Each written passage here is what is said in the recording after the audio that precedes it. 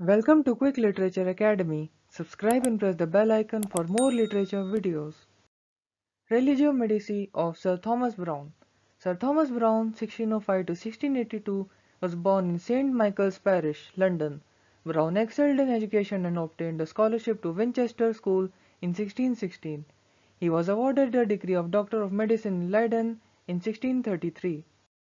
After spending time traveling, Browne settled in Norwich and opened his own medical practice. Browne was a polymath, excelling not just in medicine but numerous other subjects. He wrote many literary works but it was one, Religio Medici, published in 1642, which made the greatest impact.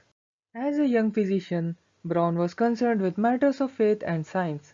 He used the Religio Medici as a personal sounding board to explore his opinions on religious belief, Christian charity, and his life as a physician is kind of an autobiography in which Browne talks about the Bible, religion, and spiritual life.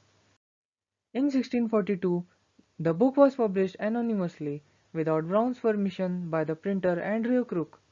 When Browne realized, he released his own edition in 1643.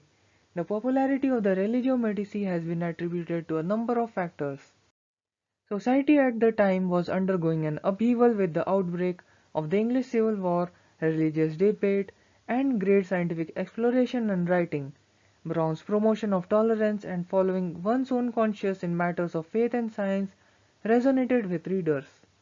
Browne's style drew people in through his rare humor, warm feeling, and abundant charity in his pursuit of knowledge.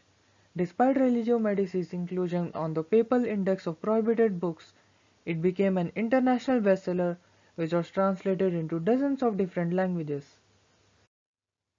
Thanks for watching. Do like and subscribe. Comment below if you want a video on some topic.